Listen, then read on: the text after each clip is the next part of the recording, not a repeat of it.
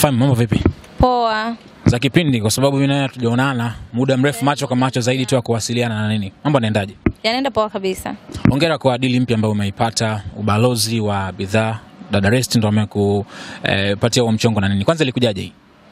Uh, imekuja kwa sababu mimi nilikuwa ni mteja wake mzuri uh, kwa muda wa miaka miwili nafikiri au moja na nusu kwa mwenyewe ameona mdogo wake mimi natumia product na zinanipendeza. Kwa nini mdogo wangu tusikae chini mezani tukafanya jambo letu, ili na wengine wasichana wasikie sauti yako na wenyewe waweze kupona kwenye matatizo yao, kwa sababu matatizo ya wadada wengi duniani hapa ngozi yaani wasichana wengi sana wanakuwa hawajiamini kwa sababu ya ngozi. Ndio maana unakuta filter sana. Uh, ngozi ndio kila kitu. Mwisho wa siku mtu akiwa na ngozi nzuri anajiamini, anatembea kifua mbele. No matter wewe una, unakuwa labda we, samani Mungu akosei uumbaji wake, lakini kuna mtu unaweza kukuta sura yake labda ina hitilafu kidogo, lakini akiwa na ngozi nzuri nyololo, wala huwezi kuona tatizo. Lakini mtu kishakuwa smart na nini, unakuwa una mtu cha kukubeza. Kwa ngozi ikiwa smart na wewe Okay. so tukaona kwa nini tusifanye hichi kitu, ndo tukakaa mezani tukaona okay, let's do this. Ndo tuka leo tumepanga kuja kuzindua hizi products zetu za uh, La Vista organic products Uh, pamoja na uh, kama unavyoona alikuwepo meneja wetu pale, lakini pia tulikuwa timu nzima ya La Vista. Ni La Vista nini?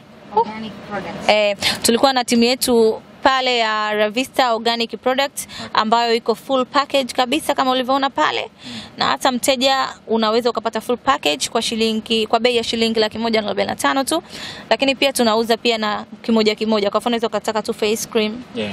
unauziwa. Kwa mfano unaweza ukataka scrub peke yake unauziwa.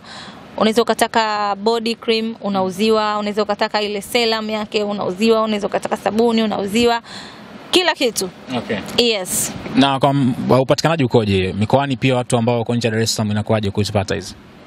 Uh, mikoani tuna mawakala wetu kwa mfano kama Arusha, Dodoma, Morogoro, Mwanza, kote huko tunakuwa na mawakala. Tanga tuna mawakala wetu. Okay. Yes. Sawa. Tuzungumze kuhusu maisha yako Faima. Ulikuwa kimya kuna kipindi fulani Instagram ukao post picha na mambo mengine. Kwa nini labda? Ama nini kilitokea? Hakuna hamna chochote kilichotokea wala hakuna chochote kilicho tofauti isipokuwa tu mimi kwenye katika mwaka mzima waga najiwekea ratiba zangu kwamba mimi katika mwaka huu mwezi wa kwanza nafanya hiki mpaka mwezi wa pili. Mwezi wa pili nafanya ukiniona nimetulia ujue nafanya kazi zangu mwenyewe shughuli zangu ambazo zinanifanya busy. Baada hapo nasema sasa baada hapo labda mwezi wa kumi sasa ni, ni mwezi wa photoshoot mpaka mwezi wa kwanza. Napiga picha kwa ajili ya kutangaza business yangu. Ikifika mwezi wa kwanza okay, bidhaa zangu zimetoka. Natakiwa kuleta vitu vipya na focus naanza natulia tena natengeneza yani ndo niko hivyo Okay. lakini sio kwamba labda napata kwa kitu gani ya. Nikupongeze kwa tuzo ambayo umeshinda hivi karibuni. Utatueleza pia kwa sababu kuna tuzo nyingi waga unashinda shinda inakuwaga ni kimya kimya, unakuja kushtuka Faima kapost kashinda tuzo na nini. Ilikuwaje? Waandaji walikutafuta ama uliwezaje kuwa nominated?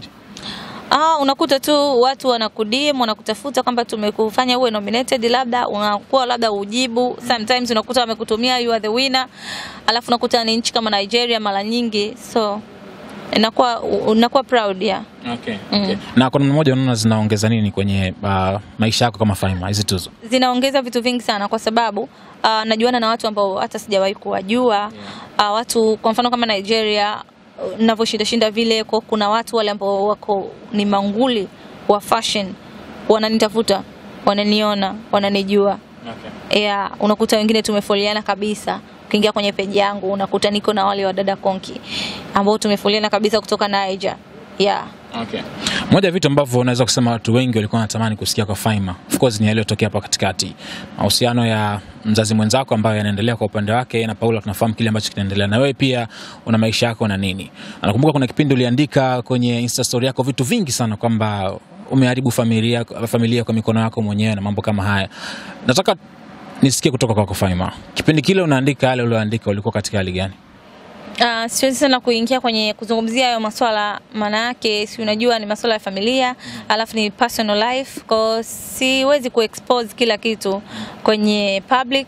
Itakapofika wakati wake wa kuzungumzia vitu vyote story na nini nitazungumza, but for now uh, tutulie kwanza Okay. eh, tufanye kazi. Kuna namna yote unajutia kuandika yale ulioandika? Yeah, of course sikufanya kitu kizuri, ndiyo nakili, sikufanya kitu kizuri na ni kitu ambacho kinaniumiza kila nikikumbuka, but ndo ishatokea. Yeah. Yeah, unakuwa una jinsi ya Okay, situation ikoje sasa hivi kati yako wewe na Ray? Ah, siwezi kuzungumza chochote kuhusiana Kwa maana kwamba yuko responsible kama baba, mko fresh, mnalea na nini mtoto wenu Jayden. Yeah, Jaydan mara nyingi sana yuko na baba yake kwanza ni, ni, ni mzazi bora. Yaani ni mzazi bora, ni mzazi ambaye anamjali mtoto wake sana. Yaani Ray ana chemistry sana na Jaydan. Yaani ni wanapendana sana. Kwa we, yani ni, ni wana bond ambayo ni nzuri. Yeah. Okay. Kwa hakuna chochote kilichopungua kwa mtoto. Okay. Yeah. Kwa mtu ambaye pengine, kwa sababu nakumbuka mtu kama Mange Kimambi aliandika kwenye peji yake ya Instagram akasema, Faima, move on, tafuta mwanaume wako Ray akuwa type yako na nini. Najua uliiona ile, uliichukuliaje ama una, unazungumziaje? Ah, uh, siwezi kuchukulia kwa ubaya lakini pia siwezi kuchukulia kwa uzuri kwa sababu kila mtu na mawazo yake na opinion zake kwa sababu mtu anaweza kaona picha akatafsiri lakini kumbe haiko hivyo. Kwa hiyo mimi narudia kusema kwamba unavo unaweza ukaona kiko hivi kumbe hakiko hivi. Ushanielewa, lakini siwezi kumzuia sasa kila mtu kutoa mawazo yake. Of course mtu atavyojisikia kusema kuhusiana na mimi mimi as long as ametoa ushauri ni mzuri nitasoma kama ni kizuri nitakishika kama naona akijanifaa nitakiacha yeah. Okay. lakini siku siku si, siku chukia kwamba ameandika vile hapana nili, niliona tu ni sawa kwa sababu yeye ni mtu mzima anajua vitu vingi kwa labda yeye kwa mtazamo wake ameona iko hivyo ya unamprotect sana Rayvanny na siku zote umekuwa unasema unamheshimu na nini, vitu kama hivyo. Ukiona watu wanaandika labda kusema huyu hakuwa mwanaume wako, inabidi upate mwanaume mwingine labda wa hadhi fulani na nini, waga unahisi kama vinamvunjia heshima kwa namna moja ama nyingine? Ah, sasa ukija kwenye swala la watu, kila mtu anaongea anachojisikia yeye.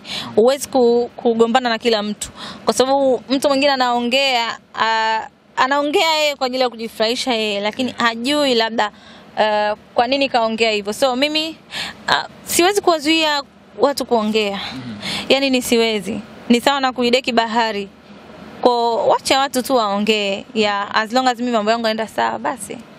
Sawa. Kwenye interview ambayo tulifanya Faima, kama unakumbuka vizuri, kuna vitu uliongea, tulifanya muda kidogo. Interview ikaja kutrend hivi karibuni baada ya kuonekana Raib na Paula na nini. Kwenye interview ile ukasema kwamba watoto wa Kitanga waga hatuachwi, Ray ananipenda, hawezi kuniacha na masuala kama hayo. Ikaja kutokea kweli ndio hivyo, ameenda kwa mwanamke mwingine. Wewe nataka kujua ulikuwa unachukuliaje zile clip wakati zinazunguka mtandaoni? sikuchukulia kwa ubaya wala sikuumia kwa sababu mwisho siku wewe unaweza kuwa kwenye kampuni fulani na unaoisifia kampuni hiyo si ndio lakini uh, kuna misunderstandings zinakuwa zinatokea sometimes ups and down zipo katika maisha kwa hiyo it doesn't mean mazuri ya mtu yote unayafukia baya lake mia moja baya lake moja unafikia mazuri mia moja. Kwa hiyo mimi naweza nikasema kwamba sijutii wala siumizwi na zile clip kwa sababu nilizungumza ni- ukweli. Ni ukweli kabisa hakuna uongo wowote. Kwao hata haziniumizi wala hazinikeri kabisa. Kwa sababu ni kitu ambacho kipo cha ukweli. Aa, nikisema ukweli kwamba alikuwa ni mwanaume mwaminifu ndio sijui kwa sasa hivi labda na mahusiano yake huko lakini kipindi kile alikuwa ni mwanaume mwaminifu kwangu na hajawahi kunifanyia kitu chochote kibaya namshukuru mungu na namwombea dua njema popote atakapoenda chochote atakachoifanya mwenyezi mungu amfungulie Faima, uh, nataka unieleze kwa sababu just tufunge hii chapter. Unajutia haya maisha ya umaarufu kwa sababu watu wamekuwa wanarusha mambo kuzungumza kwa namna moja ama nyingine? sijuti chochote kile kwa sababu ni ukiwa maarufu inabidi ukubaliana na kila kitu jamani Yeah. Faima nimechoka La mwisho kwa watu wako wanaokupenda na wasiokupenda. wanisapoti wa, wasionipenda na wapenda wanaonipenda na wapenda wanisapoti nawapenda sana. Asanteni